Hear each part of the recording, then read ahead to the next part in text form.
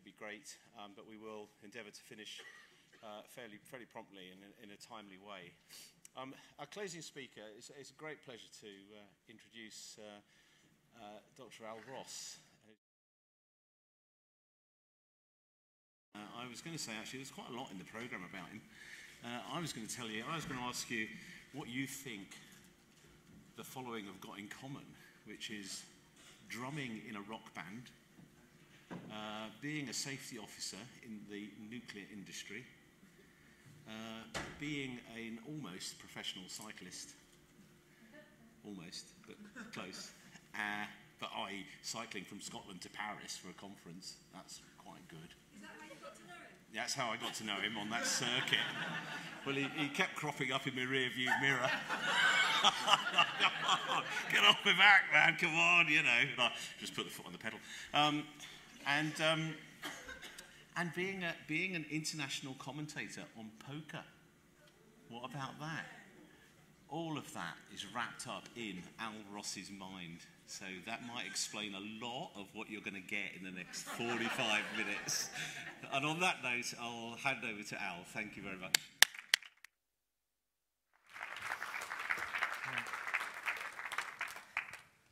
None of which is true. Um, but what is true is I do tend to endlessly repeat myself, and I think that's why I'm in this slot. So you, you can sort of get the gist early on, and then if you have to go, which is obviously it's necessary and it's not compulsory to stay, and please do go if you have to go, you'll have kind of, kind of got what I'm on about from the start. So I think that's maybe um, what this is all about. Um, yeah, so um, we'll start off. That's an overview.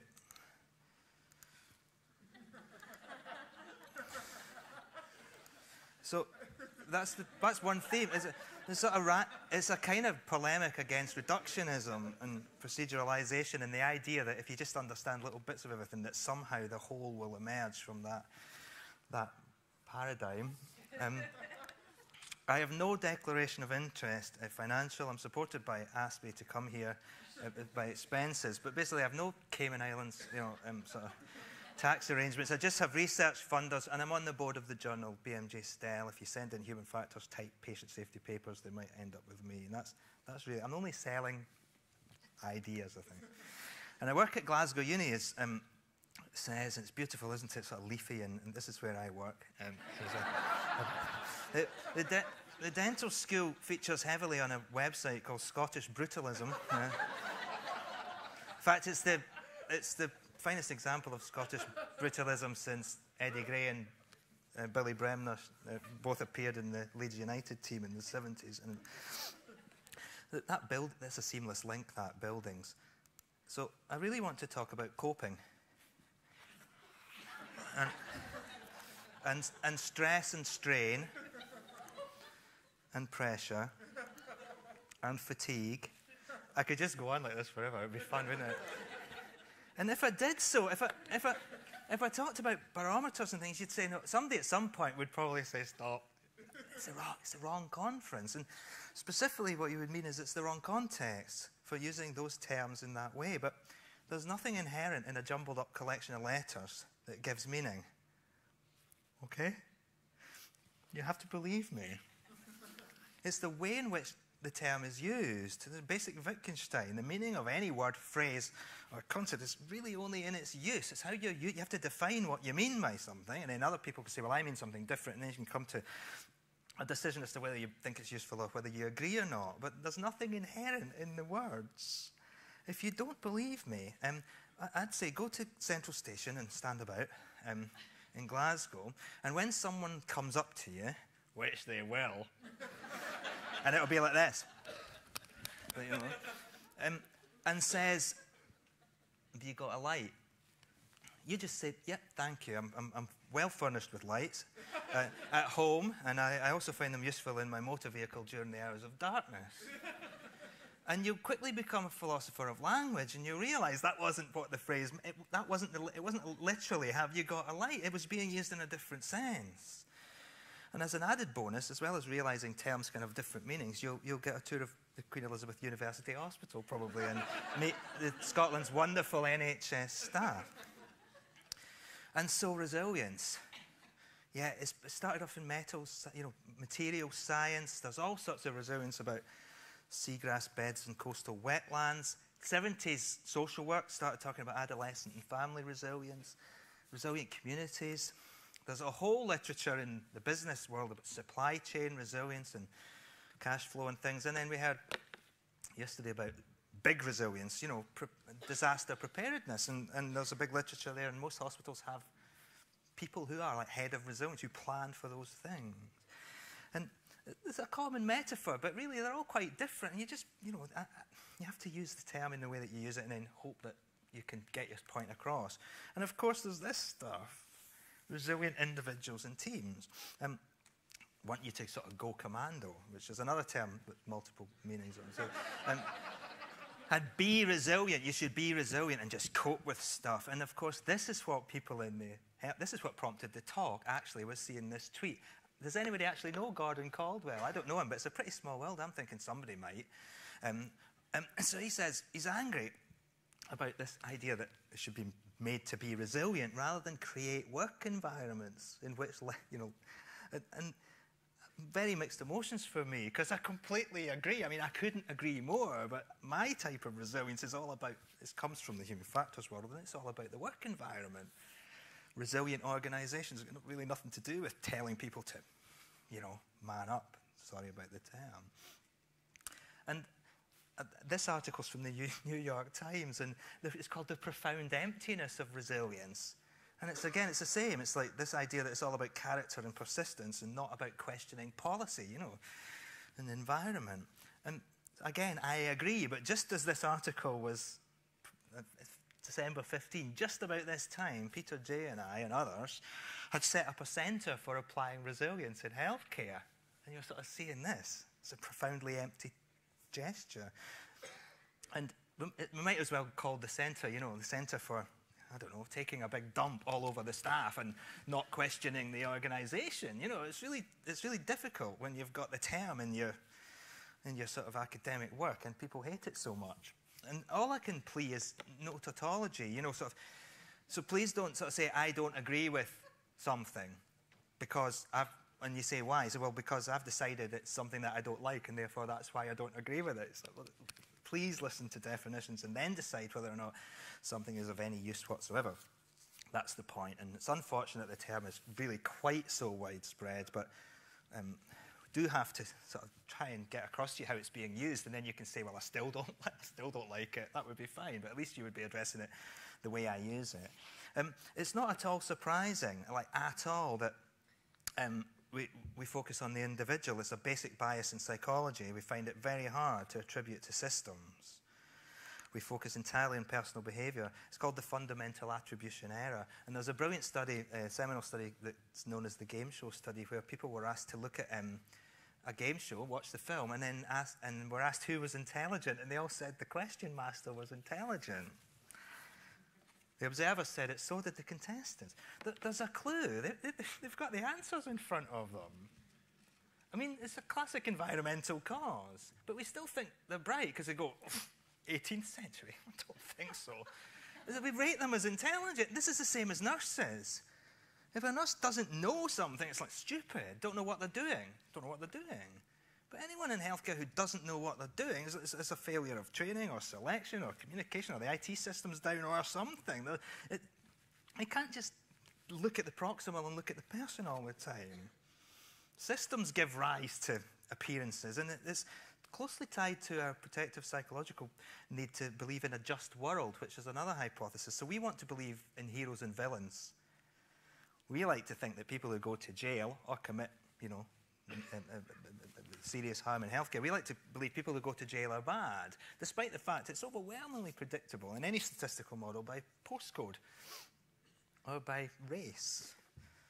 And it's the same with people that end up in high office and for which, you know, to whom good things happen. We like, we have to, we like to believe they must have some qualities. I used to rant about this with George, George Bush here. You know, well, he must have, he must, he must have worked hard at least to have some abilities, you know, because he's the president. His dad was the president. I mean, there's a clue. This is a struggle. I mean, this, I mean, he got into Yale without having to submit, submit any exam results. He just got in as a family legacy and you know, dodged the draft and all the rest of it. Systems give rise to outputs. And the biggest system causes war. War changes everything and behavior goes haywire, but we still, in wartime, think there's sort of good people and bad people. And then, of course, in the, in the West, in Britain, we fight for honour and glory, and Americans fight for liberty. I don't know what happens down in Australia, but German and Japanese people seem to fight because they want to ravish white women and sort of sexually assault them. You would never catch any men in Britain and America having those type of desires. And so you look at systems, it gives rise to behavior, and again, we want to focus on these people. These, these girls here in pop music, they must be, I don't know, exhibitionists. Nah, it's just pop music system. You've got to look at patterns. The same for the blokes. My grandfather, Johnny Ross, he was, he was, he was, he was in a famous harmonica band, and the, his main talent was he had no teeth. So he used to take his top teeth out and put them in his left pocket, his bottom teeth in his right pocket, and he could really blow a mean harp. Now I'm really getting off topic. so we're, we're, we're fundamentally biased towards personal explanations, right? I'll try to get to the point, and away from systems ones. So when, you, when I say resilience, you're going to think, oh, yeah, you know, people's coping skills. This is a classic study which also shows we're biased towards the front line in healthcare. People wearing scrubs, you know, people with, if, you know, if you've got nurse written on you, and, and there's a nursing error, then you're the one. You're the schmuck that's going to be attributed to. Michotte did wonderful work. I used to have the book on my uh, desk in, when we had libraries. I used to get it out in French because it made me kind of exotic and leave it lying on the desk. Like I could, I could understand the pictures, you see. It's what he did was he projected shapes on a screen, and there were, there's no causality at all. It's just projection. So he'd have, uh, he'd have a shape here, and he'd move one in like that, doink, and people would say, and he'd say, What happened? They'd say, Well, this shape moved this shape out the road. It banged it, it launched it, was the term he used. So it caused it to move. Then he did this.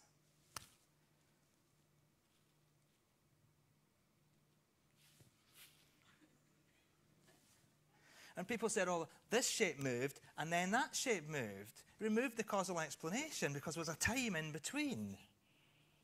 It's really, really important. We give causes to things that are close in time and space to the event. You know, it's the person with the syringe and the person with the patient who's going to get the blame because we find difficult to, to attribute to things that happened a long time before, and it's the same with space. People in rooms elsewhere making decisions, controllers. It's a train driver that gets it, not the controller. So he did this with shapes, you know. And, and, and depending on the spatial trajectory, people say, well, they were independent events. Are you sort of with me? So the NHS is full of these system causes. It's stretched way beyond where it should be, and shortages everywhere. But all the candor stuff's going to come down to people. A, people rather than systems, and B, people at the front line.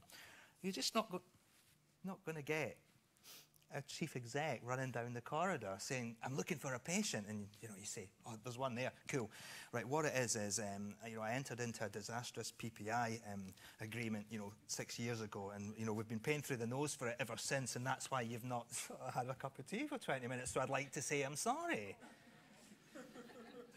it's why you can't, you know, things go, that's why things go wrong. It's a, it's a system in which things go wrong because of things like that. But the causal attribution is always going to fall at the front line.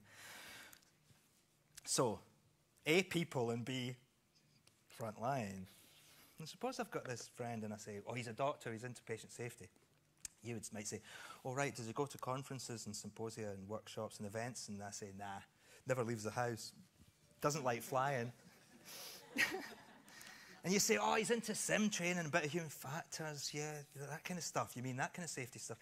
No, no, no, he's got a sort of doll phobia, prefers, you know, skin to plastic. Don't we all? And, uh, and you say, no, all right, you mean kind of health and safety equipment, sort of design, you know, the red and black lines, the red and yellow lines, and uh, black and yellow lines and floor. No, no, no, no. He thinks a bit of common sense, you know, will, will get you a long way. And you say, right, okay, I've got it. It's, it's clinical governance, healthcare informatics. It's that. You mean that, incident reporting and stuff. No, no, he thinks that's all, you know, tyranny of, you know, arbitrary metrics. Um, he's an academic. He writes about safety. He does a bit of research. No, no, no, no, no. All he does, he's won awards for safety. No, no, no prizes. Just safety of his patients. That's what he's into. It would be a weird conversation. It was a weird conversation because I had it with myself. But um, pa- patient safety is a thing. It's a racket. It's a racket, right? It is an enterprise. It's a business. It's a thing. If it's I think everybody here, I say we, I mean you, I have responsibility for undergraduates, but we would agree safety of patients, but that's fine. But patient safety, capital P, capital S, you know, we have to challenge. We have to sometimes disagree about the way it's being approached because it's, a, it's all of those things. An academic enter- enterprise, a research thing, it's got in his theory and method. And I'm not going to reference all the wonderful talks over the last couple of days, but a lot of this is about needing a theory, and my theories are kind of organizational completely agree with theories of learning and education as well.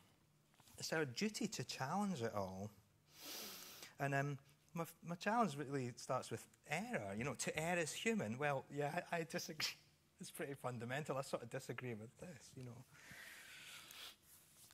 To wander is human. To err comes from the Latin to wander, right? So, yeah, that's human, to explore our environment. But it's got positive connotations that, you know, you know, let's go for a wander. Cool. Human error is what I disagree with. To err is human. If you, if, if you don't search for pornography, um, if you search for uh, uh, cat fails, you'll get the single biggest number of hits on, on Google, I think, still. 101, 101 million results, right? Big, one of the biggest traffics on the internet, right? Cat videos. And deconstructing humor, forgive me, it's, it's, a, it's wrong. But the reason it's funny, and um, here's my two cats, the reason it's funny is Cats have no concept of human error or non compliance. Cats cats explore their environment and their physical and perceptual skills, and they sometimes fall short and they sometimes overshoot. And very quickly, they are the most incredible mastery learners. They, they have this control over their environment that we can only we could only marvel at. Woodbine here on the right is like he jumps, you know, 14 times his body height elegantly. You just watch this. All cats are we're laughing at them. And it's the same for children. Children are like that until about school. When children are two or something and they fall over, we don't go, oh, oh, slip, lapse, mistake, you know, um, wrong, wrong ex- execution error or anything like that. We go, wee. And that's what you need to do with trainees. And um, the reason I love simulation is it's actually a place in healthcare? It's the very closest place in healthcare where actually that's what you do do. We say safe learning environment. We ain't talking about error here. There's not really a right and wrong modality, and I love it for that. It's about learning. But we're trying to retrofit what we had as kids. Unfortunately, what happens about five years old, somebody comes along and says, no, that's wrong. And kids then shut up for 20 years because they're frightened to explore their capabilities in case they get it wrong. It's deeply social and deeply socially constructed. And the idea that you can have that error model without blame is just a fallacy because in the beginning there was blame in Genesis. The man blamed the woman and the woman blamed the snake. If you've got an error model, someone's getting the blame because it's got the word error in it. That's just the bias. So I'd say, you know, to explore is human, to create, to overcome, to, like I say, to overshoot and undershoot and calibrate our experience against the world. That's the human thing. Human error, capital H, capital E, is just a way of subverting learning, I think, and blame's inevitable. You, again, you probably believe me anyway, but if we trawl through patient safety, you will see all this. It's, it's about people. It's like, for you, you know, you got to stand up. So it's again a, this appeal to your better selves. Um, think, act, and be safe. That seems, I'm sure for the same things. Uh, yeah, let's assume speaking out and speaking up is much the same. Being smart and being wise, yeah, maybe. Being aware. Um, don't forget and remember, that's definitely the same. Or is it? I'm not sure. And then double check, check again, and safety moment, and safety day, and safety week, and safety month. And right, so you're doing it all. Scotland's good 24 7, 365. You have to nurture it, and it's you. It's all about you, and also it's all about everyone. So that's cool. Um, but it's all about people and you know, people, people, people. I mean, I'm like, ah, stop, stop, stop for a minute. it is, it is a person centered focus. And all you have to do is try it. All you have to do is try it. Um, you just go into your work and just say, I'm just staying with this patient all day, actually. Sorry? Well, I'm putting them first, you know, and I'm, I'm being aware and I'm being wise, and, you know, safety matters to me, so I'm just going to stay with this one patient. And people will say, Stop, no, no, no, we don't mean that. You've, you've, we've got targets, we've got an organization, you've got other patients to see. All right, well, why is, it not, why is that not on your wristband? You know, put every patient first, but for God's sake, don't miss the target and be careful about the inspection. And you know, like, and and, and, and, and you'll be two nurses. Why is that not in the in the model? The answer is it all seems to come down to just ignoring the system and loading it up on the person. And I actually do real science. I just I just don't talk about it very much when I come to conferences, but you know, these are our data. We're building a big data set of organizational and, and patient factors in the emergency department at St Thomas's. And the, one, the chart on the right, the hazard function, shows you it's not rocket science for you lot at all. The, the, the hazard function for discharge just before the four-hour target. Um, but we train situational awareness all the time, and and we never mention it, the organizational demands. And yet, the only thing people are situationally aware of, only thing, is the target. You know. It's the crunching like awareness that people have. And yet somehow situational awareness for us is all about ourselves and not making mistakes and things. But it has to we talked we had earlier about distributed cognition. It has to we have to take this awareness in a wider sense and what the computer screens are telling you and all the rest of it. And it's all about chunking up the world. Um, the world is fuzzy. But we do have this psychological need, and indeed it's a useful tool, don't get me wrong to make it um, sort of discrete and digital and to codify. And this is a brilliant exa example of a. This is from the Scottish Audit of Surgical Mortality, and I looked at this a, lot, a, a while ago. And it's wound problems box, and I, I, haven't got a pointer, but second from the top it says instrument left in wound, and then a bit down near the middle it says seroma. And I was trying to work out the model behind this. So this was in a book called Beyond Human Error, which is kind of a theme. I said that um, saying that leaving something in a wound is a wound problem is a bit like saying something, leaving something in a taxi is a taxi problem. And instrument left in wound is more like bucket left in corridor than it is like seroma. I was thinking psychologically. But we, are, we have we reduce and classify and code and count and, and if you don't have a model it's all very ad hoc you just you just need a, I'm arguing for a system model, if you like, an organizational model that allows you to contextualize what things are outcomes and what things are, you know, kind of like contributing factors and processes and what things we would like to count and what things we don't really need to worry too much about. And this is a slide from a colleague in the resilient healthcare world, Erik Hollnagel. It's basically you just need a model. And I don't mean a model, model like this, where you just put safety in the middle and then scatter anything at all around the outside. Forgive me, sometimes I stumble into people who maybe might have had something to do with these things. But I mean an empirically derived model, and forgive me, some of these might be, but it's a good graphic, isn't it? You know, safety and then stuff. Safety and then stuff. That's not quite I mean. I do mean models, specific models of clinical processes. And there's a paper on our diabetes work at King's College Hospital, and I think if you have a structure like this for simulation, it is useful because quite often you would train simulation in this world and you'd be looking in the middle at decisions, but you'd really only be thinking about maybe clinical aims and treatment. Maybe, maybe a care plan might be in there, but maybe not. It might just be about a specific treatment, specific decisions around aims. And it, it makes you think, well, actually, we're not really focused on organizational outcomes like efficiency, you know, getting this done quick is vitally important in some cases, but that's not really in there. And, and decisions in this context, and it's a pretty generic model, although it did come from work in diabetes, uh, specialist diabetes teams, decisions were all about staffing and procedures and equipment issues as much as they were about patients, and the two things completely trade off. You have all these trade offs and adjustments that you have to make to the system, which is really the stuff. Anyone wants to leave now? That's it. I'm kind of, that's me finishing at least once. I'll just keep saying that again now for the next sort of 20 minutes adjusting to problems in the system characterizes how success gets achieved.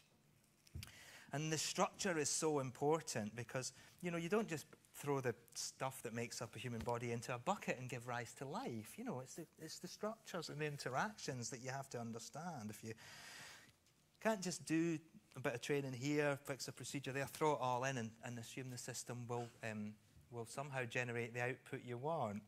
But people think you can. This is the slightly tricky bit. People think you can. I mean, some of you will know this stuff. People think there's a plan, and, and this is because safety science starts off outside healthcare, basically. In aviation, but all these other places, it starts in industry, and there's, there's like a manual, a plan, that the, the system is complicated, but it, you fit together all the parts and it will work, okay? You build it. If you have a problem with something, um, you will get bad output, and then you just look, you trace it back, find out what was wrong, fix it, stick it back together, and the output will be reliable again for a while. It's deeply seductive, and this is the way healthcare safety is approached. You just kind of have to take my word for that because I know where all the history comes from. That things are fixable, and then you put it back together, and the system is good until something else breaks down, and you just keep fixing that. It's called find and fix safety. And it's technical and rational in that everything has its place, and you know what everything does, and you just need to make sure everything's reliable. But running a ward, for example, it's much more like bringing up children. There's another thing I know nothing about. You'll gather there's a theme there as well. Um, these are my, that's my niece and nephews. It's much more like bringing up kids than it is building a internal gear Sturmey Archer hub thing here, despite the fact we kind of like to draw it as if it is. Um, like bringing up kids, you know, that there are general rules, but there's no manual. There's things people will tell you, oh, I tried that once and, you know, it, worked. And then there's sort of folk theories, and then there's, there's, there's sort of general principles, a bit of sleep, bit of food, you know, that usually works, you know, and there's, it's a sort of, uh, the rules are sort of like, try this, should probably be okay. And there are, of course, the fact that I say there's no manual is evidenced by the fact there's 100 million manuals. Everybody thinks they've got a manual, but none of it really gives rise to perfect output all the time. Because it's, com- it's complex, not complicated. The things in, in, in, in families and wards are loosely coupled. There are principles in broad relationships, but nothing is mechanical. We're not dealing with Newton's clockwork universe, and safety has this problem. It com- a lot of safety's like that, and Einstein's a good you know, person to quote. Eh? We talk about the difference between work as imagined, as in technical specification, and work as actually done, which is much messier and fuzzier and uncertain. And in this paper, um, uh, in the Annals of Emergency Medicine recently, we were talking about policy, escalation policy. And this, this is a, an editorial that was written alongside the published version by Bob Wears, who's a lovely man and sadly, sadly passed away this year. And I love this because he editorial on our work and he said, What frontline workers do, this is ED, he said, they finish the design. I just love the phrase. They sensitively interpret and adapt to the procedure. And this is tacitly acknowledged until such time as something goes wrong. And then it's like, well, why didn't you follow, follow the procedure? You weren't using it the way you were meant to. I was making it work. The, the procedures are just tools to help, and you cannot be held up as the world. They are just tools to help. And actually, it's the way they're implemented and used that creates success. And so, the, the, this is this idea of the imagined world versus the work as done. It's just this myth that you can fully specify and proceduralize everything. You, I, just think, I just think this is nonsense. You can't cross the road without guesswork, but you certainly can't do healthcare.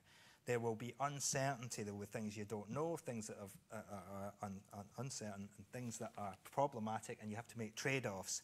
You have multiple goals, and they all clash, and you've got to make a decision, and you're hoping that you're getting the right one. And you sometimes make mistakes, and then people come along and remind you. Next time you do the right thing, when you uh, uh, next forgive me next time next time you do something and you think it's the right thing and it turns out later to be wrong don't do it. You know uh, what well, this is dystopia you know. We can't uh, I could go on. And the, the satire of course satire is important. This is why you get these joke manuals how you know I you know I, I work a manual for marriage. It's like you know, there's no manual. Please forgive me, there are lots of little tasks in healthcare and procedural tasks that, of course, can be quite tightly coupled and controlled. That's to do with closed and open systems. There's plenty of things which are pretty linear, dose response things, and things where you can really tie down procedures. But in general, situations don't have rules, only specific tasks and things. I'm talking really about situations, but perhaps that's for another day. So just, yeah, um, you know, you can't just lube up the head nurse. you know, and stick her back in, and, ho- and, and that, that'll do the job, you know. so uh, on the phone, you know, I need, yeah, I need three more gerontologists. These ones are totally knackered. Yeah, yeah. Specification healthcare, you know. So you do need a model, but we like technical rational models that give us this feeling of control. I do blame psychologists. Look how look how culturally diverse classic social psychology.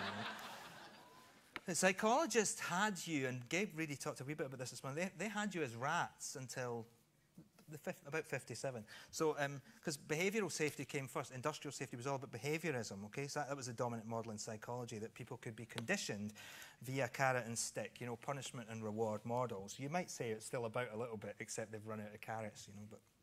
Um, um, this, is, this was the idea. And then Chomsky came along and said it was gross and superficial to, uh, to call people rats. Gross and superficial. You know, like, we're not rats. Um, but, and we had a chance then for a good psychology, but um, at that point in time, artificial intelligence and computing science had just come around, and, and psychologists, you know, never been the brightest. They're not rats, they're computers. and they started drawing circuit diagrams and assuming that cognition in the head was something like this. This is called cognitivism. It's still the dominant paradigm. It's all this information processing models. And instead of now being conditioned and punished and rewarded, now you're being programmed. And you might think, no, I'm not. Well, seriously, just look at the wall of any, of any um, healthcare unit. This is true, okay? Just trust me. The reason that that is the way that people want to drive your behavior is because of cognitive science that believes that you your, your, your brain is a digital computer. That's just the, the fact. and this is recognition prime decision making. And you get yes, no questions. Is the, situational, is the situation familiar? Yes, no. And the action follows. That's not how the brain works. It's much more like this. These, these, it's much more social than that. And, and this is why satire, again, the reason, what satire does is it pokes, it pokes fun at the ridiculous. Because you know that's your life at work, not, not that, you know. And so basically, you're viewed as robots, and, you, and can, you can you pay, you're kind of passive, and you can have the code punched into you, and the output will follow. And that's that's a, that's I think that's a wee bit like um, problematic. And I, I, if there's one reference I show you that I recommend not reading, which is kind of uh, uh, uh, unusual, I suppose, is that one, right? So we wrote this all about this in this book, The Mind, the World, and the Body: Psychology After Cognitivism. As an edited volume of deep linguistics and stuff. And this is why you get all the steps, you know? Doesn't matter how many steps as long as there are steps. You've got your three steps, your four steps, your five steps. You know, everything has to be stepwise. Um, don't want too many steps here. Uh, um, it is important, I've actually said it before, it's just it's really important that I, I'm not trying to say that these things are wrong. They are tools. They are tools, tools, tools. Some of them are even called tools. That's the clue. But you go to work with your experience, your hopes and fears, your colleagues, your, your, your, your deep, like, you know, vocational calling and all that, and tools. You've got equipment, you've got, like, you know, communication from other people, all your IT databases, and you've got algorithms, and they're all tools to help you. They are not the world. You should not be holding up the algorithm and saying, well, wait, wait a minute, did anyone do this? It's just like you know, systems for crossing the road, red and green. You know, when should you cross? Well, you should cross when there's no car coming so you don't get squashed. That's a tool that we've built to help you, and most of the time it matches up okay, but sometimes it doesn't, you know, and you can't just, whatever, it was green, you know. don't mistake the map for the territory. Don't mistake the map for the territory.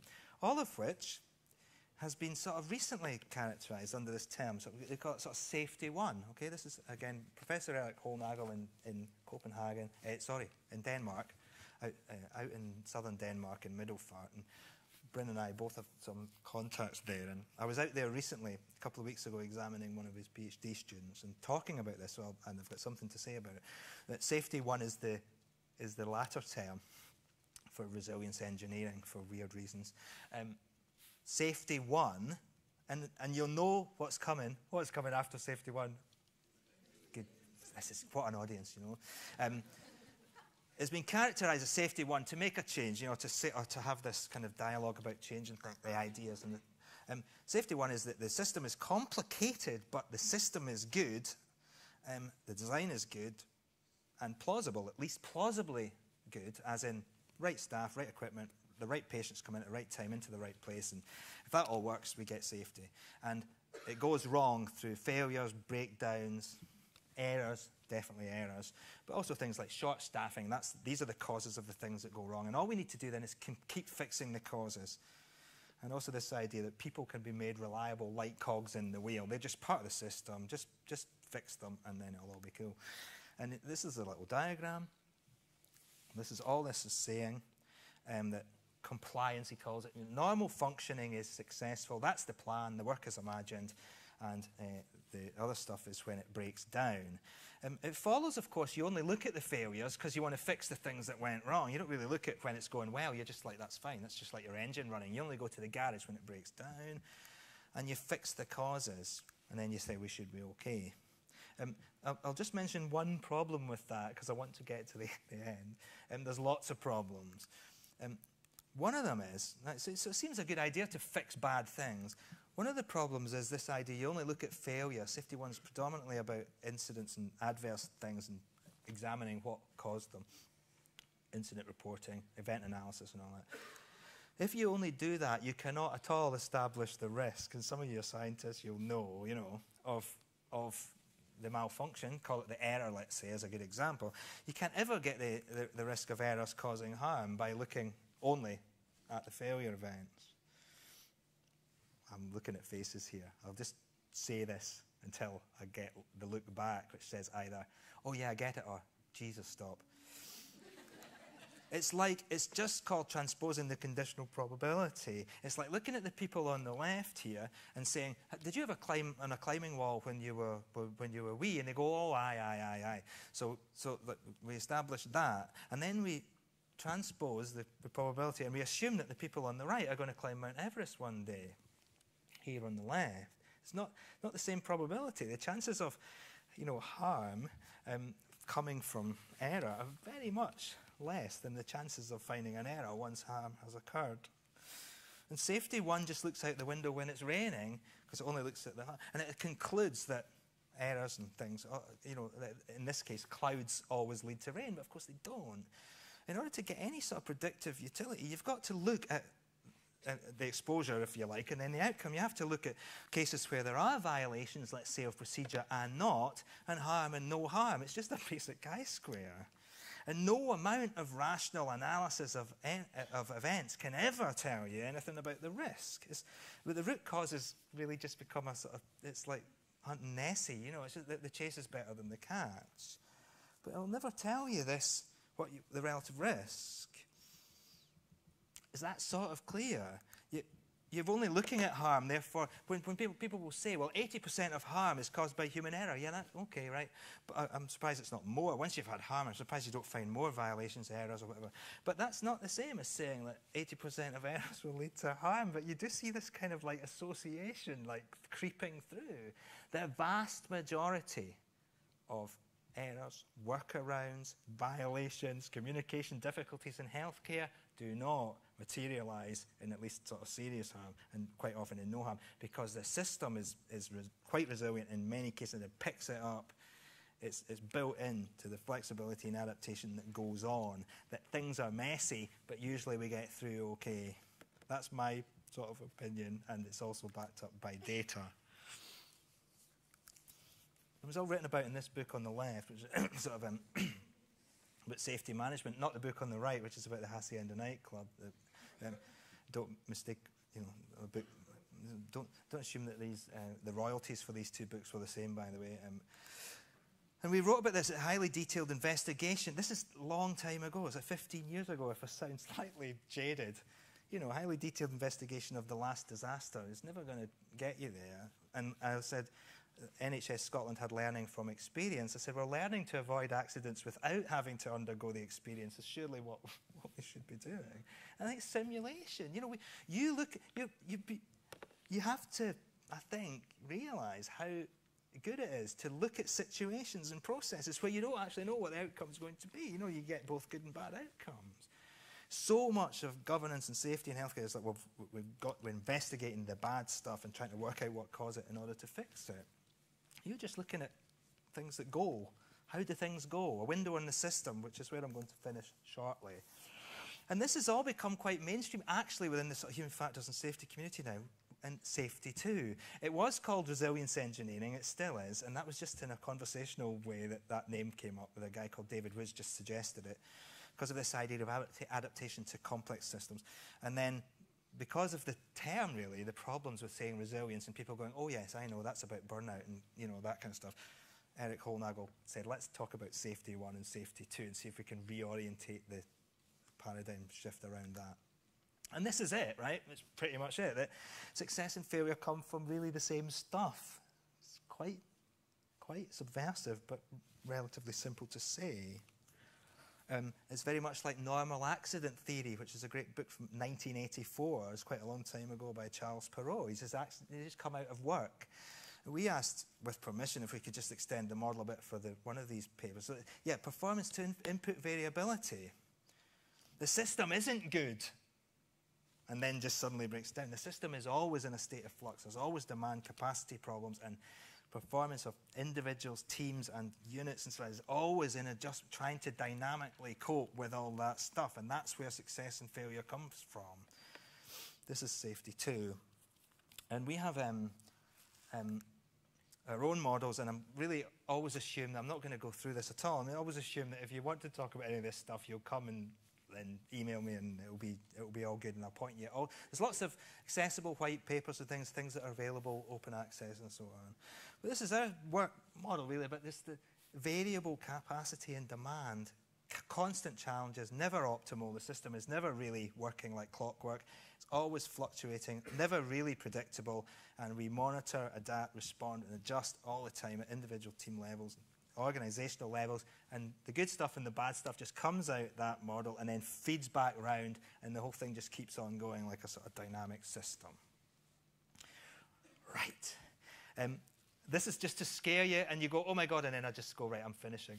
So, um, so can, there's lots of models that are much more explicated, and this is one uh, that is about all about a particularly easy task, if you like, in dental practice, but bringing in all the functions and activities that, that connect and the, the outcome emerges from all these connectivities. And it's not simple, it's a constant process of ad adapting and adjusting. And this is really the last plea, which is just think of, I say, it's easy for me in some senses, obviously. Think of simulated practice. I, I do like that beyond as well. Of course, you do simulated education and training, but I like the idea of simulation as a way of looking at these activities in this complex system. I, I, I, say window on the system, window on the system. You'd be amazed how much governance and safety is just a, win, a looking at bad things. So just look at, and, or looking at people, you know, like I said at the beginning, and focusing on people. So look at the system, look at stuff. Um, have, a, have this kind of idea of human factors model, you know. Um, and I'm going to show you, the last slide is the one after this, you'll be pleased to hear. I'm going to show you another model just to make the point I'm not selling anything here, I'm just trying to enthuse. Um, work through the model with your sim, and this is very much like what people have been talking about for the conference about um, educational models. Try and think what you're doing. The educational ones, it's like, what's your active ingredient of your intervention that's going to lead to change? This is just like, where does your sim sit within the healthcare system that you're in or the unit, and you can your models can have nice specificity just to make sure it's maybe of a department or a process or whatever. Work through it. Think of work as done, not as imagined. So make sure that in there you've got things like please the boss, because that's a very important sort of part of healthcare systems. And think who and what's involved, and can you introduce all these things to simulation? And of course, do you want to, is a perfectly valid question, with a degree of control, because if you throw it all in, you might find that um, it's very difficult to manage.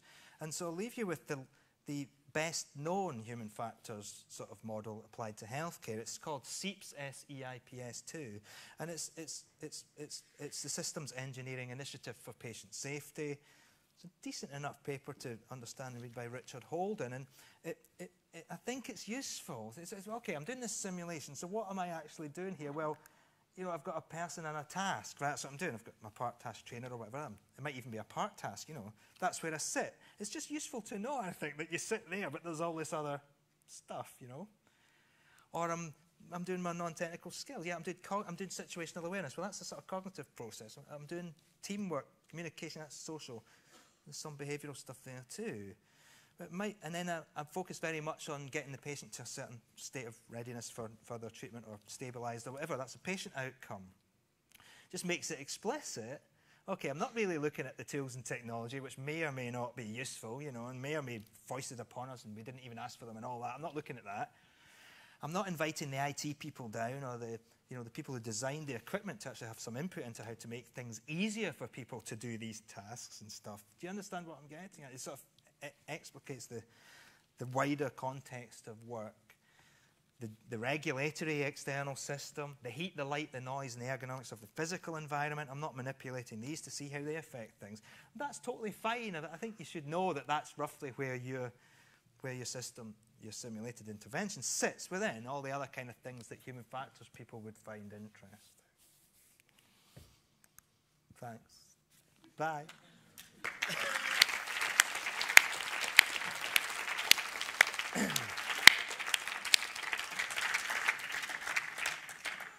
Well, I'm going to say uh, thanks very much, and thanks very much everyone for, for staying for Al Ross's therapy session. um, I, I'm going to have to take him off to his special room soon. Um, I don't know if we've got time, maybe for if there's any, perhaps one question or comment from the floor before we go to our closing session. Um, I, didn't, I didn't think I'd ever hear the phrase you can't just lube up the. Uh, I, I, I, I, didn't catch the last bit. I didn't catch.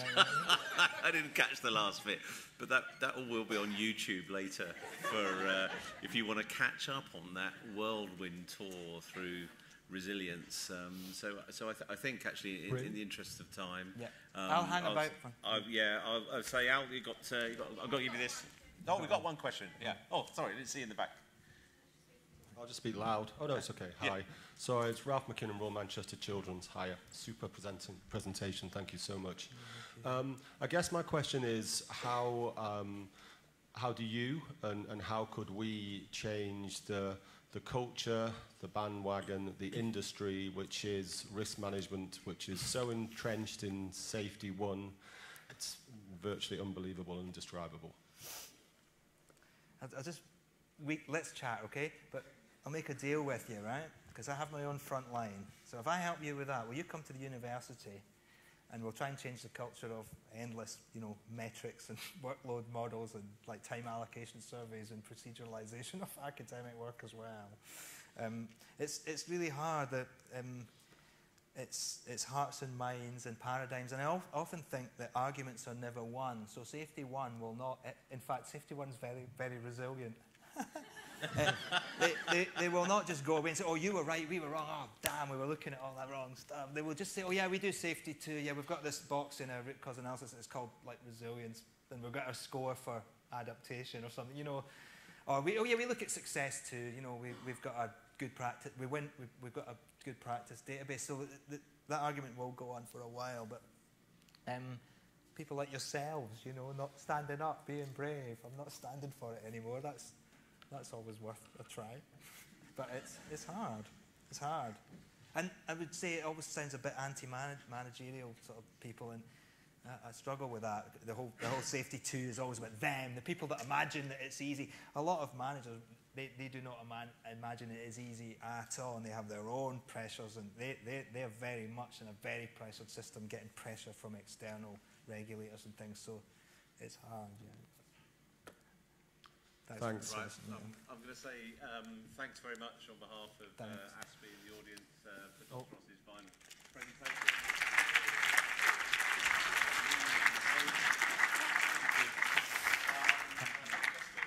Um, Perver and Colette to the stadium to uh, close the conference. Thank you. Thanks, Bryn. Thanks very much, Al. Um, we're just going to spend uh, about 10 minutes just very quickly wrapping up. Um, Perver's coming to do the best poster, paper, can't talk, um, slides. I'm just going to go through the slides so we get them in order and hopefully some of the presenters are still here and we can give them their um, prizes. Cool. Oh. oh, thank you. There we go. Um, so, uh, it, obviously, it's been a great conference. I haven't heard all the presentations because you can't be in every room, um, but I certainly, the, the ones I've chaired have been fantastic. Um, so, best poster, um, uh, we will announce. Hopefully, you're here. There's been so many posters. Um, oh, it's very slow, isn't it? Next. I don't know who it is. this isn't rehearsed, as you can tell. So, Louise McElwee um, from NHS Arran, Ayrshire and Arran, poster number 60, using simulated patient journey to inform process mapping exercise. Oh, that was such a great poster. Excellent. Is she here? No. Okay, may I just have that for a moment? So, um, we will be sending this on, but I want to just say we've, we've got a lovely book from Wiley, um, How to Teach Using Simulation Healthcare, just been published. So um, everybody's getting one of these. So we ought to um, tweet about that. Thank you. So we will send that on. Uh, best oral presentation uh, goes to Liam Wilson. Is Liam here?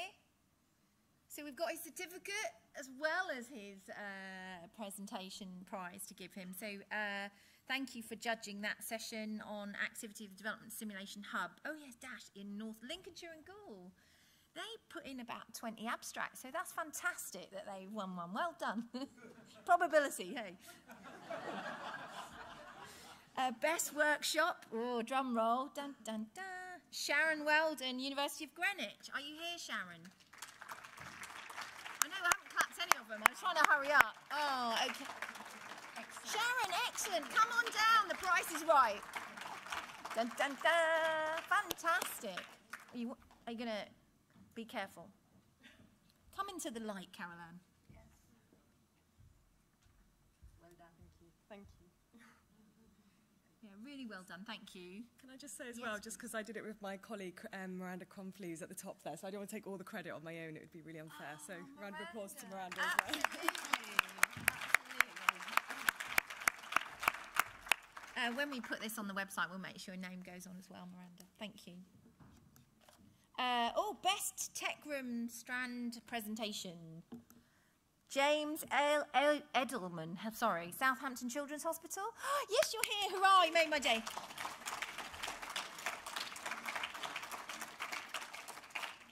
You're going to jump up the front. Be careful, sir.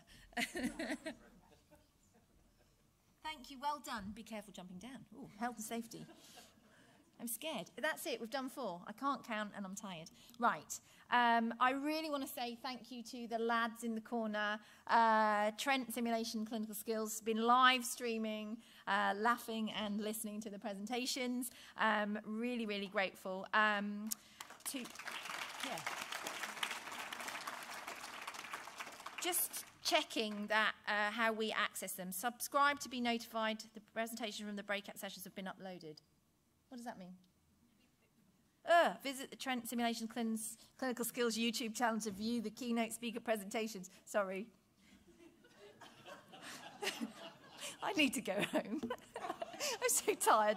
Right, massive quick run through of thank yous. Um, uh, our AV team, every year I've worked with them for a, a different conference and they do support ASPiH. CPS team, wherever you all are, you're amazing. Really friendly, really helpful, and nothing's too much trouble. Uh, we need to thank the venue. Uh, they've been very professional. The food's been absolutely spot on. They're very helpful. So thank you. I know they're probably not in the room, but Telford International Centre, uh, internationally fabulous. Thank you very much.